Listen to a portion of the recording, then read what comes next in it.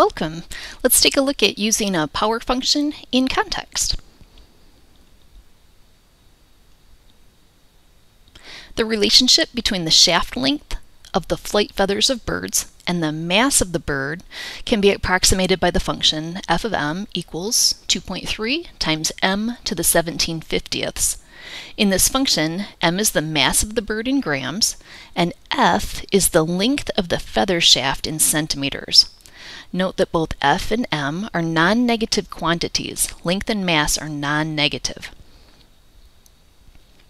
Here's a diagram to show you where the feather shaft would be within a feather. And so if you are thinking about this, you might get the idea that a heavier bird, a bird with more mass, is going to require flight feathers that are longer. If we go ahead and graph this function, then we do see that increased mass of bird will go with an increased feather shaft length. Let's go use the function more specifically. Black-capped chickadees have masses of approximately 12 grams. Use the function to estimate the length of the flight feather shaft for this bird. We'll start with our function, f of m equals 2.3 times m to the 17 50ths.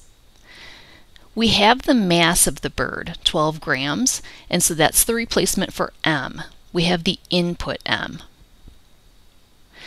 That means that f of 12, oh, went too fast, that means that f of 12 equals 2.3 times 12 to the 17 50ths. If we do a bit of evaluation, we'll find out that f of 12 equals 5.35, and that'll be measured in centimeters. But let's go do that on the calculator. So we're working on the second step on the calculator. We need to do 2.3 times 12, and that needs to be raised to the 17 50ths. We'll tell it enter. And this is rounded. 5.35 is rounded to the nearest hundredths. This is the length of the shaft of the flight feather, according to the model, for the black-capped chickadee, so it's measured in centimeters, 5.35 centimeters for this one. And if you convert this over to inches, then you get about two inches for this uh, flight feather length, and that seems fairly reasonable for the small bird that is the chickadee. Let's try another one for the American crow. Estimate the mass of an American crow with a flight feather shaft length of 27 centimeters. You are looking for the mass this time, and you're given the shaft length. This means that you're looking for the input, but you're given the output. In our function, f of m equals 2.3 times m to the 17 50ths, 27 is the replacement for f of m, the output. We'll write 27 equals 2.3 times m to the 17 50ths, and then we need to start solving for m. This is going to take us a couple steps. We need to divide off the coefficient on m first. We'll divide both sides of the equation by 2.3 to make that happen. Go ahead and leave that left-hand side, 27 over 2.3 in its fraction form. You'll get 27 over 2.3 is equal to m to the 17 50ths.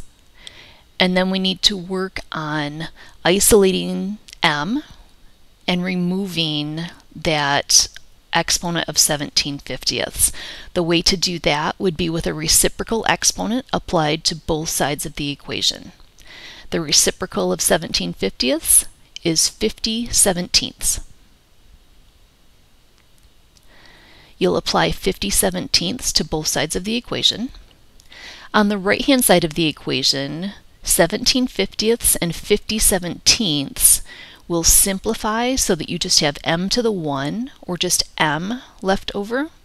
On the left-hand side, that computation needs to be done very carefully. Over here on the calculator, we'll use parentheses, 27 divided by 2.3. Close those parentheses. Raise that entire quantity to 50 seventeenths.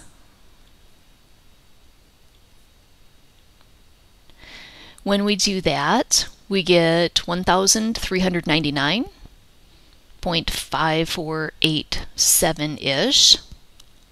We can do a little bit of rounding there. 1,399.55 grams would be our value for M. M is the mass, and if you remember back to a previous screen, the mass was measured in grams. If you convert this over to pounds, something that we're a bit more familiar with, I think you get about three pounds for this crow. And I think that is a little heavy, so we may be experiencing some model breakdown here. But this is how the algebra would work. If you were a biologist or some kind of researcher working on something like this, you would have a better feel for whether model breakdown applies here and where to use this model in terms of masses of birds and their flight feather shaft lengths.